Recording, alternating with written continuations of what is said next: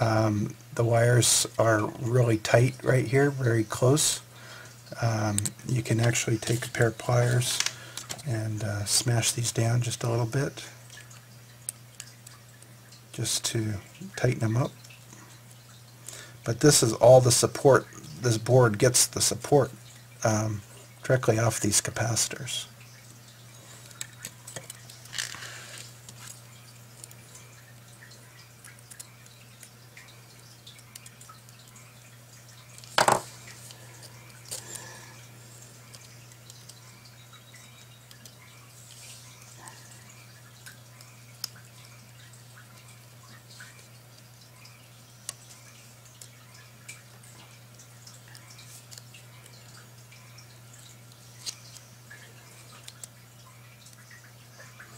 So that's pretty good.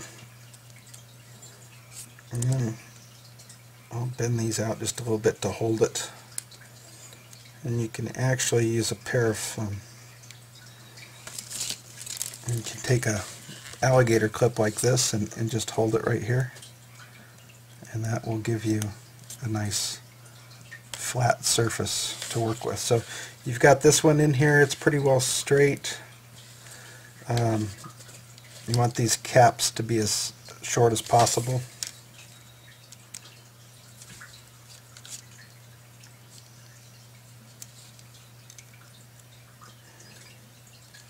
I'm fiddling around with this one more than I'd like, but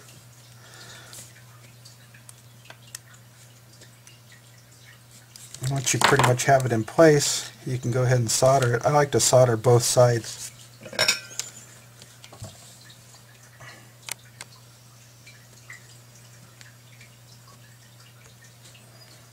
Can see right here, fairly hot iron.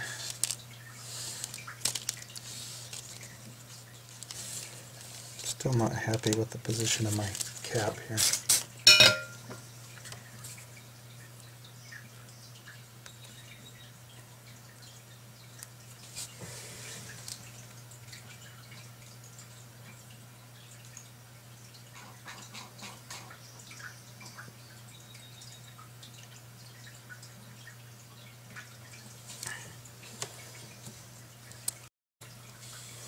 Okay, you'll see I've got I've got this one done now. Um, I've got both of the jumpers on this side. I've got the capacitor um, pretty much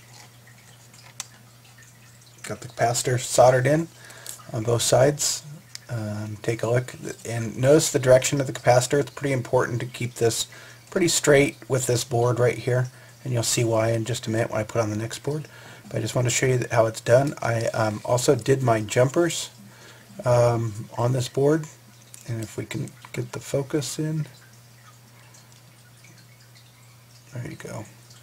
You can see right there one two three and I combined two and three together. There right there.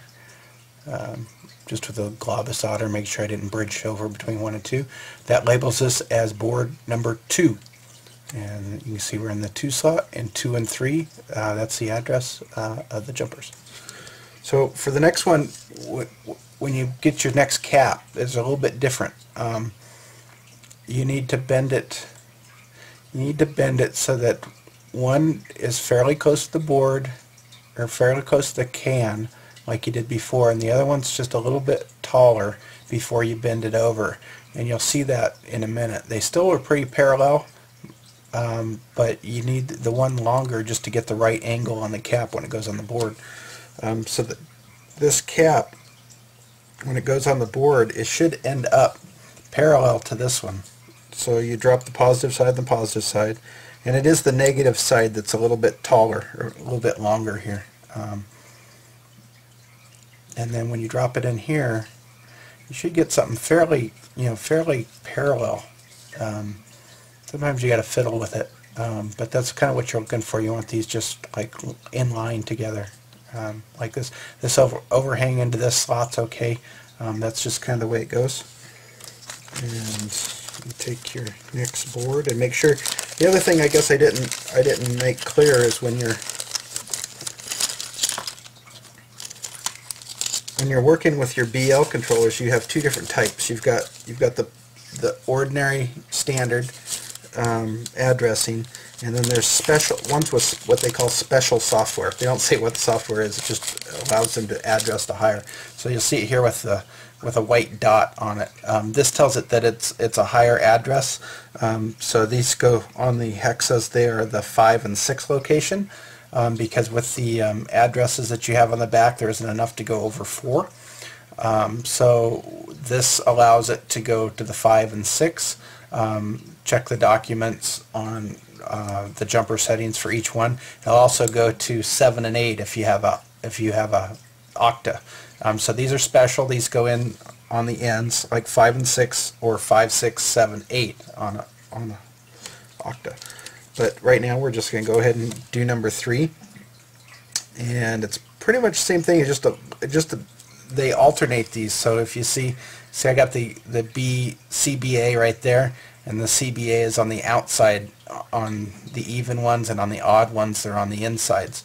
Um, so it's the same thing. Just line up the cap and uh, with it upside down.